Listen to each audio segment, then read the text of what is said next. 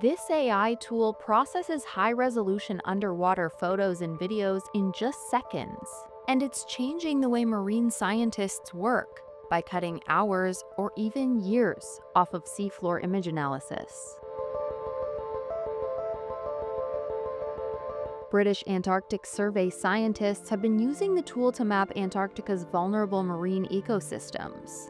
It quickly identifies and labels deep sea species such as starfish, corals, sponges, and fish.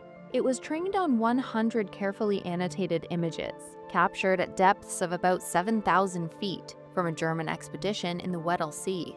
Marine biogeographer Hugh Griffiths said the technology overcomes a major hurdle in biodiversity monitoring. This dramatic change in the speed in which we can process data through AI means that something that we'd have collected 10 years ago, we might still be working on today to work through all the photographs. But now, if we go out there, we can have the answers before we even come back from the ship, meaning that we can do something immediate with that, and the data isn't out of date by the time we know what's happening. Manual labeling once took up to eight hours per image, because that one image could have thousands of tiny animals to identify.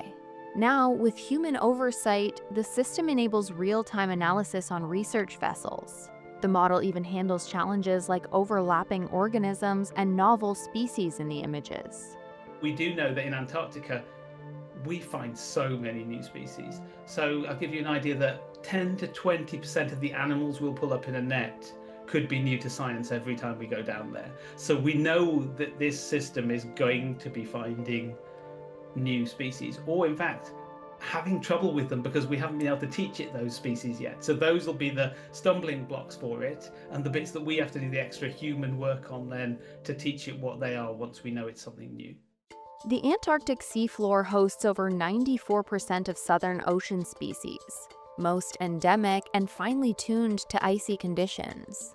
With warming oceans and human activities threatening these habitats, the tool is processing a backlog of 30,000 images. It could transform how protected areas are designated, replacing destructive dredging with non-invasive surveys. Griffiths warns that without such tools, critical habitats will risk unnoticed loss. So really it's the changing numbers, the changing ratios, but also anything we haven't seen before or something we see a lot then disappearing would be warning signs of climate change.